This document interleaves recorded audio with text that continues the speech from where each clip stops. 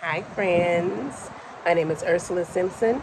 I'm a hairstylist and I'm in the local Union 706.